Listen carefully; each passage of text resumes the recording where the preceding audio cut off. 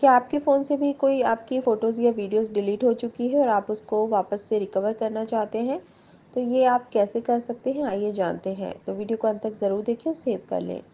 एक सेटिंग है जो आप अपने फ़ोन में कर सकते हैं। उसके बाद आपकी फ़ोटोज़ और वीडियोज़ वापस से रिकवर हो जाएगी।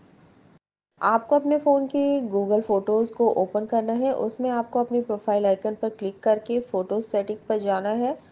फिर वहाँ पर बैकअप वाले ऑप्शन पर क्लिक करके उसे ऑन कर देना है। आप वहाँ अपने ईमेल मेंशन कर सकते हैं जिसमें आपको बैकअप लेना है। इसके बाद अब जब कोई भी आपकी फ़ोटोज़ या वीडियोज़ डिलीट हो जाएगी, आप उन्हें ईज़िली रिकवर कर सकते हैं।